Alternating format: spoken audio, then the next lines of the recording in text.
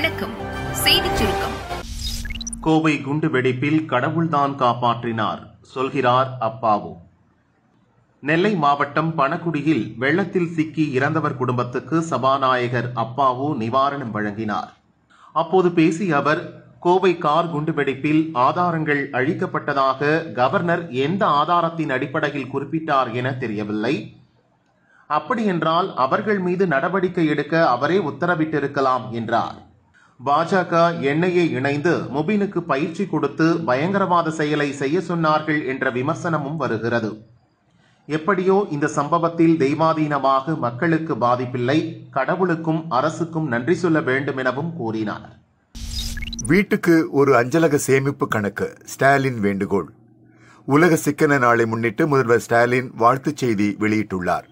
மக்கள் அனைவரும் சிக்கனமான வாழ்க்கை மேற்கொள்வதை உறுதி செய்ய வீட்டுக்கு ஒரு அஞ்சலக தொடர் சேமிப்பு கணக்கை அருகில் உள்ள அஞ்சலகங்களில் துவங்கி பயன்பெற வேண்டும் என கேட்டுக் கொண்டுள்ளார் ஒரு பொருளை தேவையா என பலமுறை சிந்தித்து வாங்குவதில் சிக்கனம் துவங்குகிறது.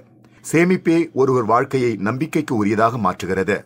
சேமிப்பது மட்டுமல்ல அதை சரியான விதத்தில் முதலீடு செய்வதும் முக்கியம் எனவும் ஸ்டாலின் குறிப்பிட்டுள்ளார். முடிந்தது முதல் சுற்று கவுன்சிலிங் ஒரு எம்பிபிஎஸ் நாற்பத்தி மூன்று பிடிஎஸ் சீட் தான் இருக்கு. அரசு மற்றும் சுயநிதி மருத்துவக் கல்லூரிகளில் எம்பிபிஎஸ் பிடிஎஸ் அரசு ஒதுக்கீட்டு இடங்களுக்கு முதல் சுற்று கவுன்சிலிங் முடிந்தது. ஐந்தாயிரத்து அறுநூற்று நாற்பத்தி எட்டு எம்பிபிஎஸ் சீட்களில் ஐந்தாயிரத்து அறுநூற்று நாற்பத்தி ஏழு இடங்களும் ஆயிரத்து நானூற்று முப்பத்தி இரண்டு பிடிஎஸ் சீட்களில் ஆயிரத்து முன்னூற்று எண்பத்தி ஒன்பது இடங்களும் நிரம்பின. ஒதுக்கீடு விவரம் HTTPS semicolon double slash TN medical selection dot net என்ற இணையதளத்தில் வெளியிடப்பட்டது. இவர்கள் நவம்பர் நான்குக்குள் கல்லூரிகளில் சேர வேண்டும். ஈரோடு அரசு மருத்துவக் கல்லூரியில் எஸ்டி பிரிவினருக்கான ஒரு எம்பிபிஎஸ் இடமும் மூன்று சுயநிதி பல் மருத்துவக் கல்லூரியில் எம்பிசி பிரிவில் நாற்பத்தி மூன்று இடங்களும் காலியாக உள்ளன. இந்த இடங்களும் முதல் சுற்றில் சீட் கிடைத்தும் கல்லூரிகளில் சேராததால் ஏற்படும் காலி இடங்களும் இரண்டாம் சுற்று கவுன்சிலிங்கில் நிரப்பப்படும். கார் குண்டுவெடிப்பு விசாரணை கோவையில் என்ஐஏ அலுவலகம். கோவை கார் குண்டுவெடிப்பு வழக்கை என்ஐஏ விசாரிக்கிறது. டிஐஜி வந்தனா தலைமையிலான என்ஐஏ அதிகாரிகள் ஆதாரங்களை கைப்பற்றி விசாரிக்கின்றனர். கோவையில் என்ஐஏவுக்கு அலுவலகம் இல்லை ஆயுதப்படை பயிற்சி மையத்தில் இரண்டு அறைகளுடன் புதிய அலுவலகம் ஒதுக்கப்பட்டது. விசாரணை நடத்த உதவியாக இரண்டு இன்ஸ்பெக்டர்கள் நான்கு சப் இன்ஸ்பெக்டர்கள் எட்டு போலீசார் என்ஐஏ வசம் ஒப்படைக்கப்பட்டனர். நூற்றி இரண்டு மெகாவாட் மின்சாரம் கொள்முதல் செய்ய ஒப்புதல்.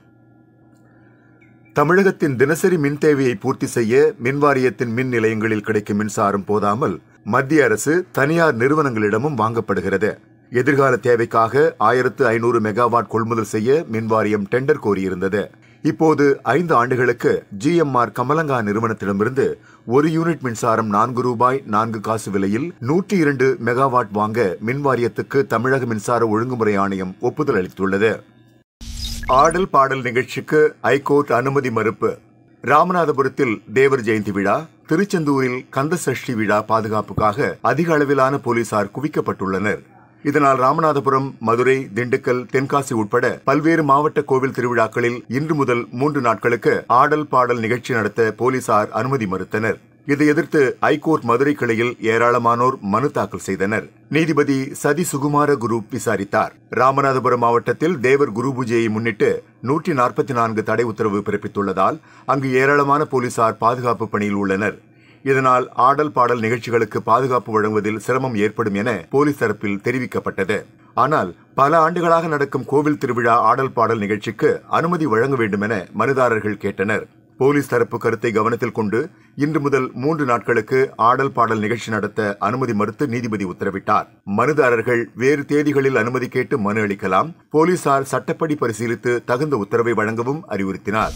கடல் வழியாக முப்பத்தாறு கிலோ தங்கம் கடத்திய கும்பல் கைது. மதுரை ராமநாதபுரம் ரோட்டில் உள்ள டோல்கேட்டில் வருவாய் புலனாய்வு அதிகாரிகள் சோதனை நடத்தினர். காரில் தங்கம் கடத்தி வந்த மூன்று பேரை மடக்கி பிடித்தனர். மொத்தம் முப்பத்தி ஐந்து புள்ளி ஆறு கிலோ தங்கம் பறிமுதல் செய்யப்பட்டது. இதன் மதிப்பு பதினெட்டு கோடியே முப்பத்தி நான்கு லட்சம் ரூபாய். இலங்கையிலிருந்து கடல் வழியாக கடத்தி வந்தது தெரிய வந்தது. மூன்று பேரையும் கைது செய்து விசாரிக்கின்றனர்.